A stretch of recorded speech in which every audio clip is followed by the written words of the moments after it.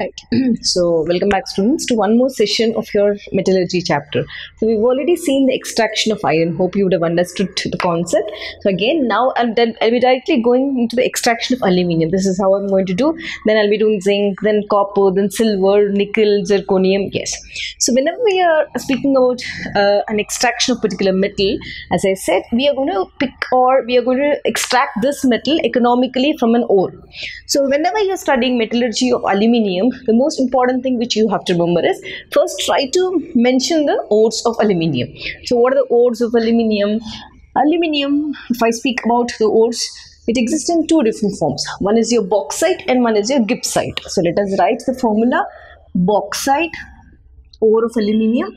Formula is Al2O3 dot uh, 2H2O. That is your uh, the bauxite and when I come back and speak about gibbsite it is Al2O3.3H2 this is your gibbsite now what are we going to do? We are going to pick up this particular uh, ores and from that we are going to first separate or purify the metal. After purification then we'll take it for further uh, uh, reduction refining and everything so, if this question is given to you, how is alumina separated from or purified from silica in bauxite ore? Give equation. Now, basically, whenever we speak about bauxite, bauxite has two types of impurities. What are the two types of impurities? It has Al2O3.2H2O, has SiO2, silica as an impurity, and TiO2, titanium dioxide as an impurity. So, we uh, our task is to remove these impurities and then send it for reduction. So, for separation or purification of this uh, silica, we are going to utilize or we are going to use two types of methods. One method is called Serpeck's process. Serpeck's method, and the second method is called a process of leaching. These two are purification methods only. In the exam they directly ask you what is the process of leaching. So you can write this answer. Let us come back and see. So in Serpeck's method first most important thing what are we doing? We are going to pick up this uh, metal metal oxide right? So first i'm going to take this metal oxide. Done I'm going to combine with two important reagents. What are the two important reagents? Okay, that 2H2O is inbuilt in the inbuilt in the, in the molecule, water of crystallization, right? So this aluminium trioxide, I'm going to combine with nitrogen, and then I'm going to combine with the reducing agent coke. Correct. So this acts as a reducing. When all these are going to combine at 200 2073 Kelvin. So when this combines, what is the use of nitrogen? Just see. First important product, aluminium nitride comes out because I'm going to further process this, and the leftover comes out as carbon monoxide. Done. So this is your first step.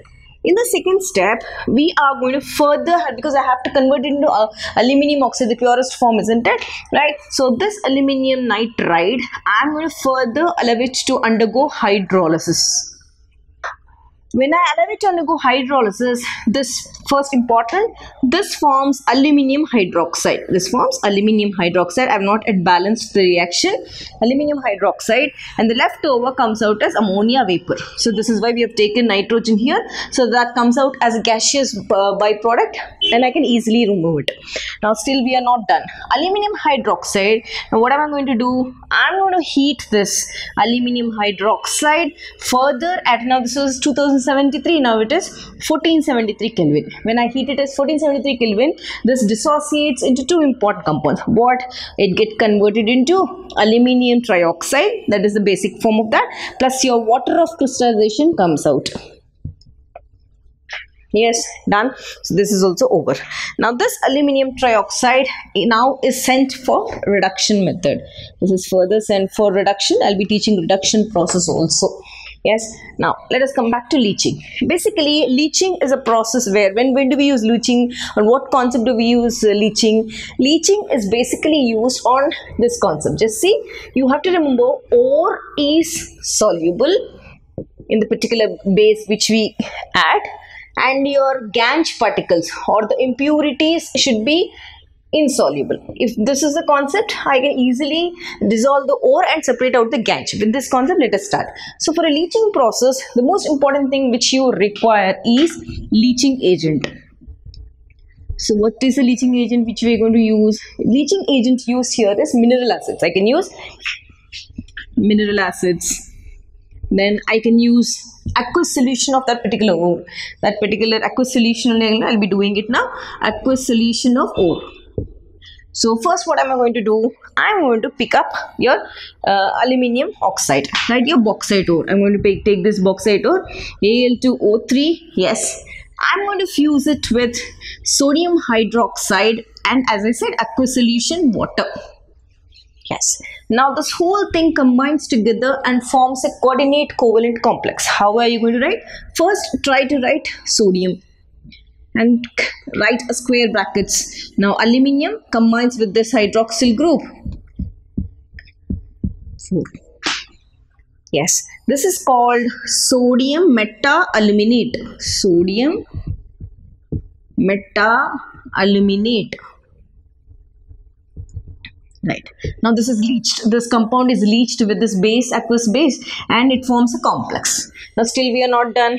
What am i going to do? Now na sodium meta aluminate let us name this is 1 let us name this is 2 i'm going to take this sodium sodium meta aluminate and i'm going to neutralize this how am I going to neutralize? I'm going to add carbon dioxide to this. Now this becomes a neutralization reaction, isn't it? So when I'm trying to neutralize, what is the use of carbon dioxide? Because your sodium comes out with this carbon dioxide as NaHCO3.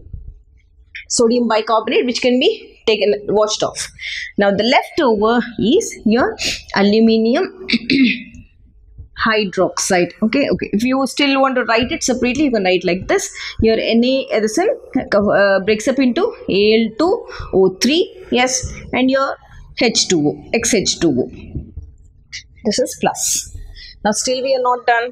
What are we going to do? We are going to pick this aluminium trioxide dot XH2O and I'm further going to heat what temperature? At 1470 kelvin i'm going to heat this. When you heat it the bonds between these two break up and i get al2o3 plus xh2o this is your aluminum trioxide which is very very pure now. 99% pure aluminum trioxide but still the metal is not extracted.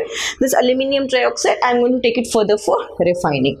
Now most important here in this particular reaction what should we remember? You i said silica is has to be be removed isn't it? Now that silica whatever is there SiO2 combines with coke. Coke is your reducing agent.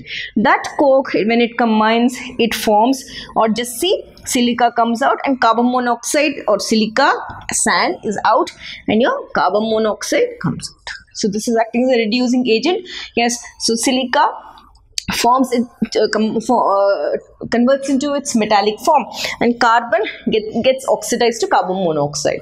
So this is your complete purification of bauxite ore so please remember wherever you're writing try to write the reagents if you can write the use of this reducing agent. Use of this nitrogen coming out as aluminum nitrate. Again uh, what are you writing? Yes uh, use of this. Uh, coke for converting or removing silica sand from that. Use of this where leaching agent where you forms a complex. And use of this carbon dioxide to neutralize the reaction. So finally this. So this is your reaction